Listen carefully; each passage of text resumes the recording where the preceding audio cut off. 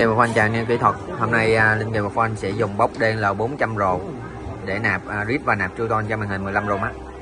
Thì thao tác rất là đơn giản. Bây giờ anh em chỉ cần uh, bấm vào nút mod. Đây là nút mod nè. Nhấp vào nút mod một cái. Nó sẽ hướng dẫn anh em tiếp. Nếu anh em mà bấm giữ nguyên cái nút mod nữa thì nó sẽ rip từ xe cảm. Anh em bấm nút mod một cái nữa thì nó chỉ rip từ pho màn thôi.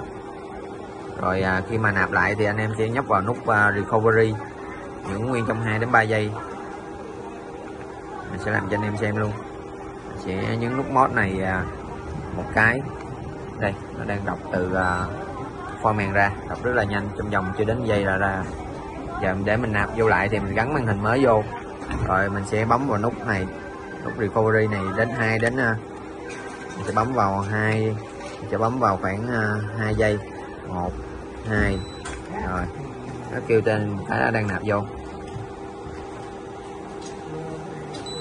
Đen bóc đen là 400 rồi. Đang được phân phối tại à, Linh Tiền Phone em có nhu cầu thì ủng hộ. Cảm ơn anh em.